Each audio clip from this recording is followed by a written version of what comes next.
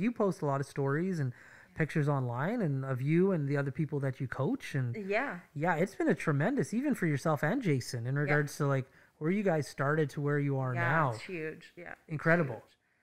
And uh, first of all, I just started out doing the workouts at home, but because people were seeing my results, Right. they kept saying, "Well, what are you doing? What are you doing?" And I'm Mhm. like, you know what? I think I can help people.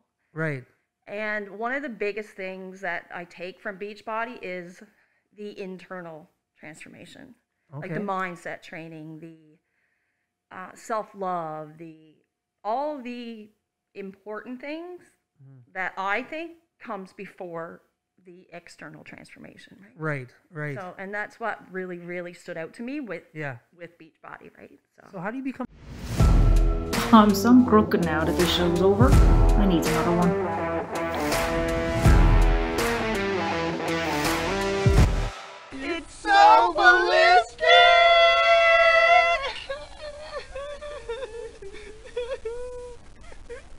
Talk about quenching your ugly thirst.